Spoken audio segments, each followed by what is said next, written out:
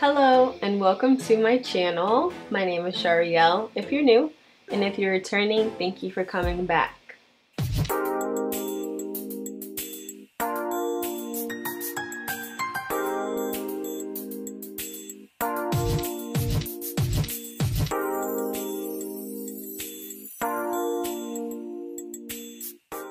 I am back. I've been gone for a month and a half and I disappeared out of nowhere and it's because I got an opportunity to work on a movie.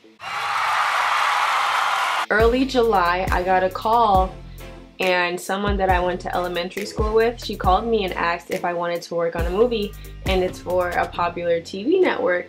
So of course I say yes. And literally two days later, I'm driving up to the hotel and I'm under contract and all of a sudden I'm now a truck costumer for a movie. This ended up being four weeks and for the first week and a half I literally did not know what I was doing. I have no background in film or theater and the description that I got was all you have to do is steam clothes out and prepare things. So I'm thinking, okay, that's easy, right? Totally wrong. So truck costumers dress each actor for every single scene. We're the ones that bring them their clothing to the trailer and we also take old clothing back from older scenes.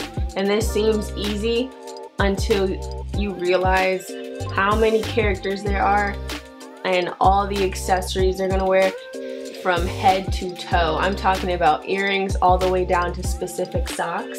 So I'm walking into this industry of film and everything they're saying I have no idea what you're talking what they're talking about. They're talking about call sheets, principals, background, scenes, literally all this stuff. And the crazy thing is I need to know all of this stuff to be able to do my job. For three weeks nonstop of having to figure out how to read a call sheet and I'll put an example call sheet up so you guys can see what it is.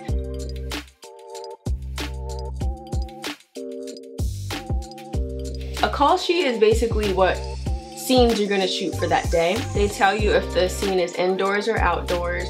It tells you which day it is in the script, which scene it is in the script, and a small description. Um, and it literally looks like Mandarin if you don't know how to read it. And thank God my coworkers were super helpful with, with me. But um, truck costuming is very hard. And to give you guys an example of what I had to do as truck, I'm gonna use one of my favorite movies, White Chicks. So, as a truck costumer, I told you, you have to dress them from head to toe, each of the main characters, which are called principal characters. Sean and Marlon are one and two on the call sheet, and one and two are basically the main characters. Each actor is numbered by their importance, basically how much they're in the movie. So let's say Sean is one and Marlon is two, and if you can see closely, Marlon has these hairpins in his hair, in his wig, all the way to also Sean having a belt. These are little accessories that you have to know that they wear for that outfit. And then on top of that, their shirts, the jackets, the pants, the shoes. I have to know which scene that's for, um, how long, basically how long they wear it. The call sheet tells you how many pages or partial pages it goes by one eighths that they're wearing this outfit. I have to know all of this. I have a walkie-talkie on me to know what's going on and the setup of the cameras. You have to be so attentive with this job. And I have no idea what I'm doing most of the time. So you see Marlon's hairpins to Sean's belt, and then there's other principal characters, which are the three girls in the back, which are their friends. I have to know what they're wearing as well. So not, I have to prepare all of these things.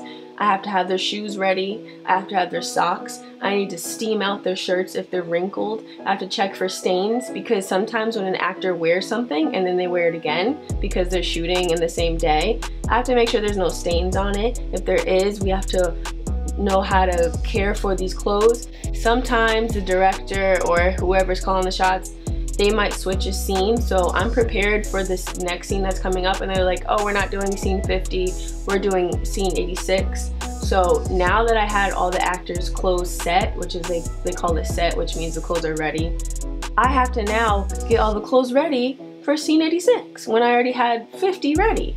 So it's literally insane. And it sounds simple, but I, I just can't explain it to you for you to understand. But a little funny part that happened to me was when I was giving the clothing to the actors for whatever scenes, I kept messing stuff up. I'm not gonna act like I was perfect. I messed up every day. And one of the actors, he was seasoned. And it was so funny because I, I kept messing up. And he looked at me, he was like, you need to get it together. and I was like in my head, you're right. and from then on, I made sure I had my stuff together. And I appreciate that because when people are too nice to you, you're not on your stuff. But when somebody's like, tighten up, that's what you do. Um, and the seamstress ended up leaving. So I also doubled as the seamstress for the set. And it was intense as well, but I was so much more comfortable in that position because I know what I'm doing when I'm sewing. Uh, there's a lot of times I had to take in suits, take in the waist for skirts. Um, what else did I do? I hemmed pants, you know, I did fittings with the head designer and that was much more pleasant for me. Um, the only thing was because people don't sew, they think sewing is magic. So they'll somebody will give me a dress and be like, oh, can you take this in? And then the next thing I know, the PA, which is the production assistant, they're coming up to me like, oh, hey, um, when is the dress gonna be ready? Because we need to dress actress B, whatever, you know? And I'm like, in my head, I just got the dress. Um, it's not gonna be done for another 20 minutes. But you have to keep a positive attitude. You just have to be pleasant and get things done um, even when you're being rushed and pressured because there were times where there were times where they would say we, they needed something right away to be sewn up and then they didn't really need it for another hour but you just have to get it done and I, another thing I didn't know with film is that the days are so long. There's days that we have had 15 to 16 hour days. Literally we would get up in the hotel super early in the morning bring the clothes to the site wherever we're shooting and then by the time we got back to the hotel it's so late and if craft wasn't good if the food wasn't good we'd have to eat takeout and you're eating heavy food before you go to bed and then when you go to bed you wake up it's time to do it all over again if you're a truck costumer watching this video um, I'll give you three tips of what you need to know if you're like you're in school for this or you've never done this before number one have a fanny pack Having a fanny pack is amazing because it allows you to have free hands. Um, everybody has a fanny pack on film sets because there's various things in there, your phone, your money. Um, you can hook your walkie-talkie to it. Of course, you need a kit. And if you don't have a kit, you can use your fanny pack to have stuff in there. You're going to need a lot of safety pens. You're going to need like Tide things to clean up stains right away. Sometimes you need moleskin. Um, what else do we have in the kit? A hand needle and thread. Um, a bunch of things because sometimes you need a and you need a seam ripper and scissors.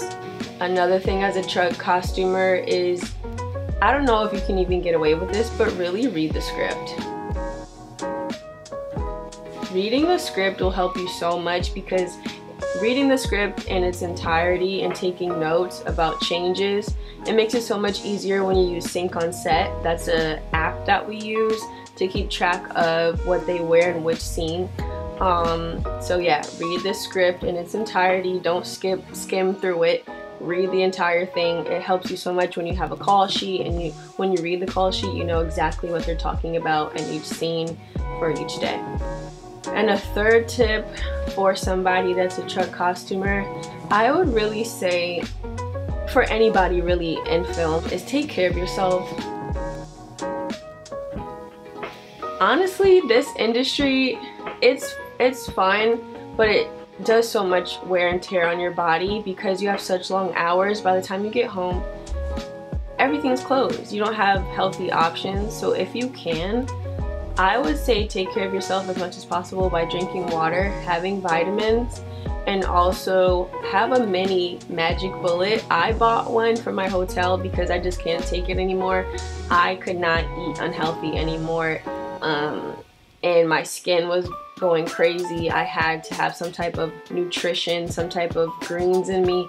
If craft doesn't give you, you know, enough vegetable options, definitely get yourself like a mini magic bullet to make smoothies to make sure that you're getting the nutrients that your body needs. um, but yeah, overall it was very challenging. It was something I'd never done before, but I'm never afraid to do something new. Um, if I were asked to do it again, I would not be a truck costumer, but I would be a seamstress again. And it's cool being on sets and being in another world because it really takes up your entire life when you work on a movie. Like your whole life is just on pause for four weeks because you film usually for three weeks and then you have a wrap week after.